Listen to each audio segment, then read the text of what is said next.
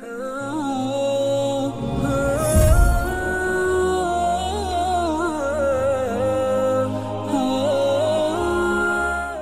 father tested positive for the COVID 19 virus.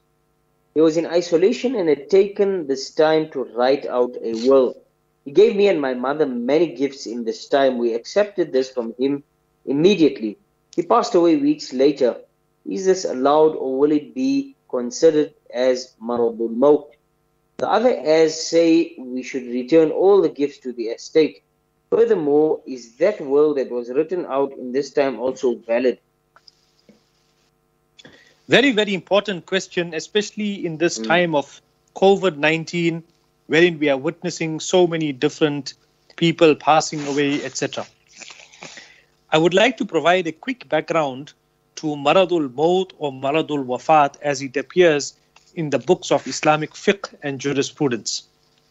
Maradul Wafat or Maradul Maut refers to the final illness of a person, and the main ruling is that the ownership of such a person's wealth devolves and moves away from that person and is suspended away from that person. And there are certain particular rules that are applicable to a person that finds himself or herself in Maradul Maut or Maradul Wafat. According to the preferred view that a male, for a male, Maradul Wafat is considered for a male who cannot perform Salah in the masjid and is totally housebound. And for a female, where a female cannot continue and execute her domestic chores. And the time of Maradul Wafat or Maradul Maut starts at the time of the illness, not at the time of the diagnosis. The second important point I wish to mention is that the hadith of Rasulullah sallallahu alaihi wasallam, "Ala la wasiyata liwarithin," that behold, that there is no bequest for an heir.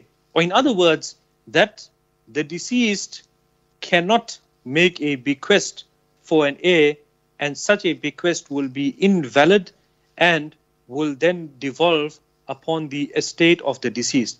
And this hadith appears in Tirmidhi Sharif. We make dua that Allah subhanahu wa ta'ala open the doors of His rahmah and mercy for your father and grant him Jannatul Firdaus. Ameen. Maradul Maut is that sickness which causes the death of a person. For example, a person with diabetes or cancer will not be considered Maradul Maut even though the sickness is, is terminal. Such a person only be considered in Maradul Maut when the sickness causes his health to de- deteriorate to the point where death is inevitable. Maradul Maut is therefore only determined after the death or wafat of a person. Any gifts given during Maradul Maut will actually be in the ruling of a wasiya or a bequest, and the laws of wasiya will apply.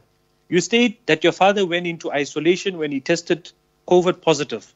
If your father's health at the time of gifting had not deteriorate, deteriorated to the extent mentioned, then the gifts will be valid and will not form part of the estate. They belong to you and your mother. It is permissible to create a will on one's deathbed. Therefore, your father's will is valid. And note that any bequest made in the will shall be confined only to one third of the estate. And furthermore, it is not permissible, as I've mentioned, to make bequests in favor of an heir.